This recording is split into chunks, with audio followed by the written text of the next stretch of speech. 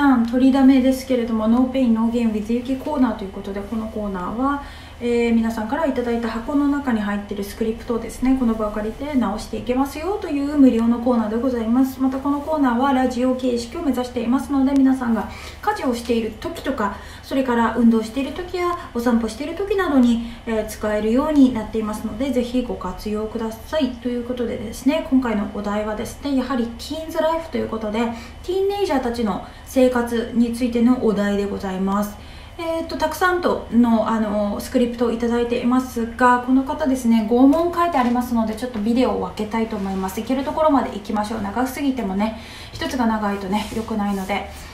早速1つ目の回答ですね。1つ目の質問ですが、えー、こんな風になっていました。When you were a teen, did you enjoy your social life? これね、えっと、ソーシャルライフをですねあの勘違いする人が多いんですけれどもソーシャルライフは学校生活や部活とかのところと全く関係ないところで友達と遊んで楽しみましたかっていうところですのであのなるべくなんだろう学校のことだけではなくてですね学校の外での活動とかそういったところをカラオケ行ったりとかボーリング行ったりとかサイゼリアでなんだろうたむろったりとかそういったような話の内容をあのか言ってくれるといいかなと思いますのでこの方ねちょっとねあの少し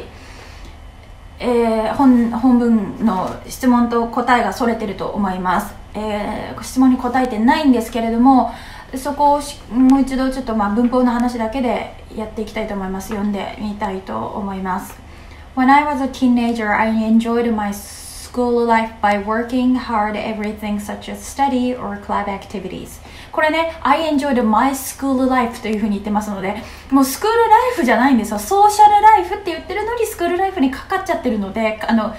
入れ替わっちゃってるので、あの一瞬で入れ替わった瞬間あの混乱して間違えた瞬間がちょっと見えてくると思うんですけれどもまあいいでしょう。しょうがないです。もう間違えちゃったんだから。Especially through the vol uh, volleyball club activity, I learned the teamwork that is important for our social life. ここでソーシャルライフが最後になってるんですけれども、はい。えっ、ー、と、そうですね。ちょっと論点が違うんですけれども、少しずつ直していけるんだったら直していきたいと思います。ここですね。When I was a teenager ここはいいでしょう。で、I enjoyed ここ過去形にしっかりなってるのでいいと思います。で、My School Life なんですが、My School Life の話をしてるんではないんですが、このまま言っておきましょう。で、By working hard というふうになってるので、このままにして、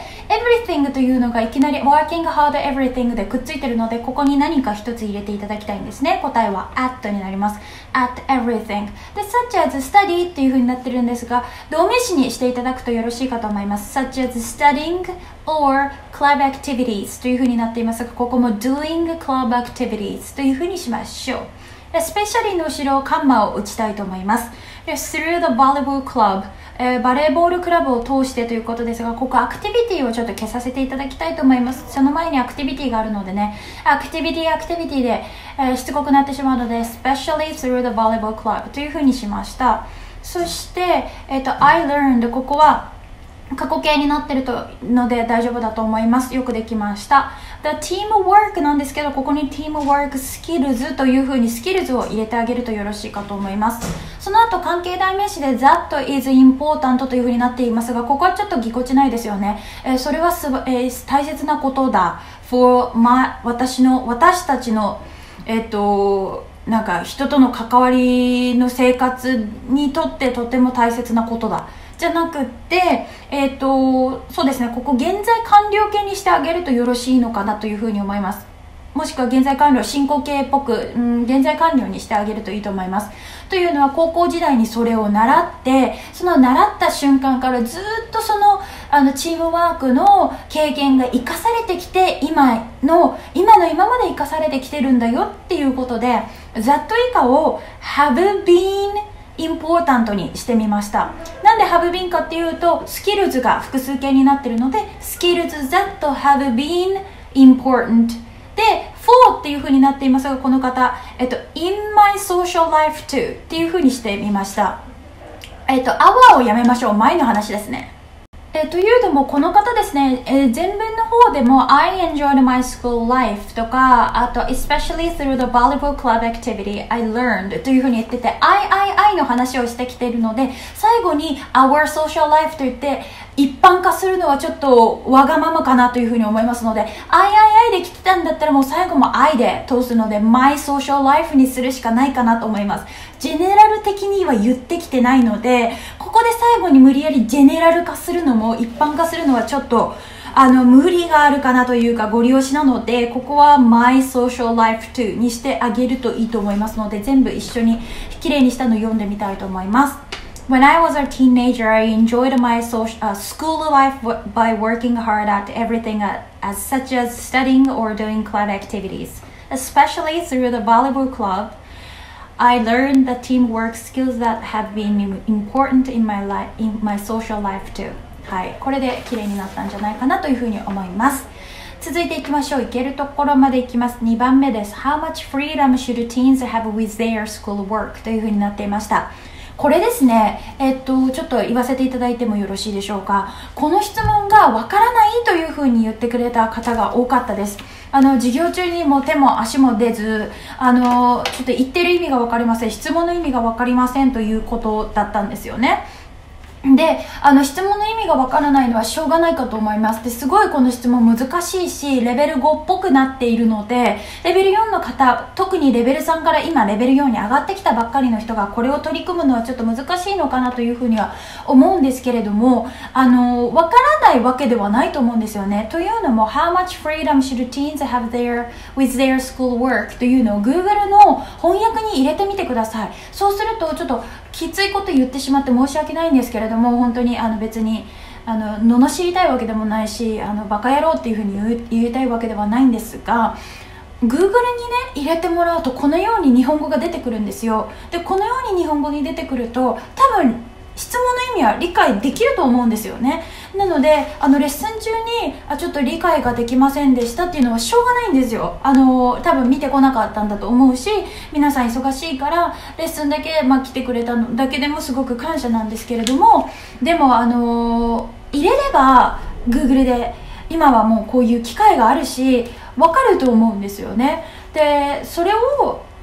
やってこなかったっていうことは自分のせいなんですよ。であの分からないわけじゃなくってやってこなかったから分からなかっただけなのでその怒ってるわけじゃなくってやってこなかったなっていう怠ったなっていう自覚だけはお願いしたいと思います。あの本当に誰にでもあることだと思うんですよ。怠ってしまうとか勉強時間が取れなかったとか家族が忙しいとか子供が小さいとかあの仕事が積んでるとか本当にいろんな事情があって皆さん別にこれから翻訳家とかあのそうですね同時通訳家とかになるわけではなくってあのもっといろんな人とお話ができるようになればいいなと思って英会話を頑張っている人だと思うんですよ。だから今から英語を本業にしようっていうふうに思ってる方はいないと思うので1日の中で例えば5時間も6時間も英語に費やす時間っていうのは多分皆さんにはないと思うんですよね。だからしょうがないと思うんですよ。勉強する時間がなかったりとかちょっと怠ってしまったりとか他に優先するものがあるっていうのはあると思うんですよ。だから分かるんですすごく。それはしょうがないと思うんですよ。なんですけれどもあのその自分のせいにも自分のせいなんていうの人のせいにしないでほしいし質問がわからないからわからなかったとかじゃなくってもっと自分であもっとできることあったけれどもやってこなかったから次からはもう少し変えてみようっていうようなあの怠ったことだけをは必ず認めてほしいんですよね。あのだからもちろんねこの質問はレベル5っぽくって難しいけれども Google に入れればこのように綺麗な回答とか翻訳が出てくるし日本語は皆さんお読みになるんだからそれは読んだらどういう質問かっていうのは分かると思うんですよね。でそれに対しての回答をどういうふうに英語で書いていいのか分からないからリンゲージに来てもらって練習するっていうのは分かると思うんです。いいんですよ。質問自体が分からないっていうのは多分それは怠惰だと思うんですね。でそれは本当怒ってるんじゃなくてあの怠惰だっていうのを認めてほしいっていうだけであのその次からその気をつけてもらったり何か改善点を自分で見つけてくれればあの私はいいと思ってます。はい。あのあるんですよ。私もなんかスペイン語とかさあのずっと前にカナダの大学で2年間ぐらい取っててであのバルセロナにも行ったしま、マドリードにも行って1人で行ってで1人でマラガっていうモロッコの対面のねあの海岸とかまで行ってでなんだろう Airbnb とかで知らないおっちゃんの家になんか泊まってみてスペイン人のおっちゃんとなんか話してみたりとかそういうでなんか、まあ、コロナの前だしさあのなんだろう現地の人がこう両側にこうキスしてくれたりとかそういうようなこう肌でスペインの文化を感じるようなところまで一人でやってきたもんだからそれにかけた労力とかお金を無駄にしたくなくってでスペイン語をまだまだまだこう不便な生活でもどどんどん取り入れたいなというふうに思ってあのなんだろう川川べりとかねずっとこうエクササイズで自分でしてる時とかもスペイン語とかを自分で聞こうっていうふうに決めて毎日やろうって。で川べ川べりに行ったら、まあ、リンゲージない仕事ない日とか川べりに行って2時間ぐらい歩いてる間にスペイン語もずっと聞いていてそれをリピートするっていうのをなんかこう目標に掲げているんですけれども雨が降っちゃったらなんか今日は行きたくないなとかあ今日はもうなんか疲れてるからスペイン語ももういいかとかなんかこうどっかでもういいかとかいうふうに思っちゃう時もあるしやらない時もあるんですよ。でやらないのはあのしょうがないと思うんですよね自分のせいだし。でそれをあのなんかなんだろうなんだろう他の人のせいにしないでほしいと思ってるから自分でも。だから自分の自分がやらなかったんだから自分がいけないんだとか。で今日は確実に自分のあの悪いところが出てあの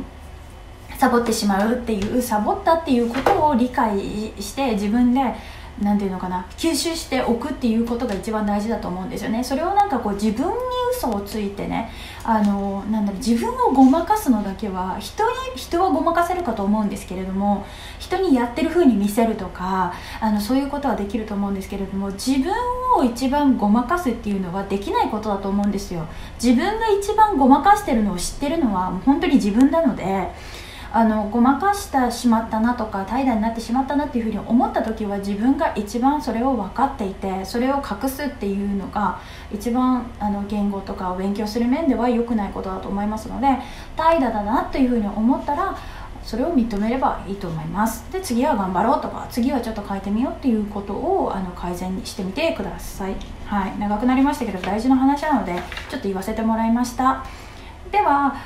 2つ目ですねその How much freedom should teens have with their schoolwork ということですがこの方の回答を読んでみたいと思います、えー、ここでちょっと終わりにしましょうねこれを読んだら終わりです I think parents shouldn't, shouldn't interfere with their schoolwork too much but parents need to observe their children's condition to encourage them、えー、というふうになっています素晴らしいですね今回のですねこの回答完璧だと思います、えー、ご両親たちはそのスクールワークじあの学業を邪魔するべきではないと、えー、単に、えー、観察してあげてそしてエンカレッジあのなんていうのかな応援してあげるっていうことだけでいいと思いますっていうふうに言ってくださいました。ただね一個だけちょっと一箇所だけ observe their children's condition っていうふうになってますが children's condition はまあなんかか子供たちの状態ということだと思うんですけれどもコンディションはちょっとねあの自然ではないのでもう少し自然自然な言葉をお教えしますえっ、と、but parents need to observe what their children need にしてあげるとよろしいかと思います。で、to encourage or to support どちらもいいです。両方入れてもいいです。to support or encourage them で、えっ、と、anytime they need their parents、えー、か子供たちが両親が必要だっていう時はいつでもサポートできるようにあの見ててあげるっていう風な言い方にするというので最後に anytime とか入れるとよろしいかと思います綺麗にしたのを読んであげたいと思いますこんな風になります I think parents shouldn't interfere with their schoolwork too much, but parents need to observe what their children need to support or encourage them anytime they need their parents. はい、こんな風になりました。えー、その他のところはすごくよくできています。インターフィアとかね、いい言葉です。邪魔する with で、えー、こんな言葉が出てくるようになると、えー、いいと思いますので、ぜひ盗めるところ盗んでみてください。は私の方から以上になります。あのそうねあのなんかこうぐちぐちぐちぐちそのなんだろう怠惰なところは認めてねとかいうふうに言ってたのはあのこのこのこのこの方このあのスクリプトをくれた方に言ってるわけじゃなくってあのみ皆さんのねあのサボってしまったとか質問の意味が分かりませんというふうに言った方に対しての激励ということであの思ってください。別にね本当にあのなんていうの怒ってるわけでも何でもなくてね。あの頑張っていきましょうということです。自分一緒にね一緒にね、えー、認めて頑張っていきましょうということです。はいではありがとうございます。また次のスクリプト、えー、この続きはですね次のビデオになりますのでスクリプトまだまだ見てほしいよという方はぜひ、えー、 no pain no gain with Riki Box コーナーですね。ぜひぜひ入れてみてください。またねバイバイ。